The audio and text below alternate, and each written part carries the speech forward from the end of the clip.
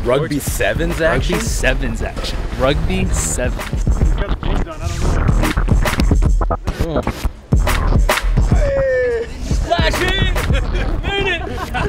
So on this, this is the field, Wilfredo, that they will play a rugby sevens Wow. tournament Wow. in July, the World Cup. It's the largest event that we've ever been able to host in the United States. Is there anything this man can't do? Did you see uh, Madison Bumgarner and Mark Melancon? They were, you know what? They look like the naturals. Like they could actually play rugby for the U.S. I think. Bumgarner kept walking through like he wanted to participate. I dreamed of being a baseball player and uh, hopefully playing for the Giants one day.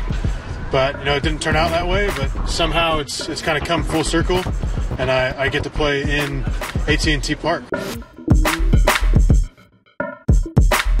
It's it's an incredible game to watch. As a spectator, there's nothing more fun. It's seven minutes of intense action, two minute break to go refill on your beer or stretch your legs, and seven more minutes, and just keeps going all day. And you know what? You go have some for you, big boy. All right, so that's it. Maybe we'll suit up.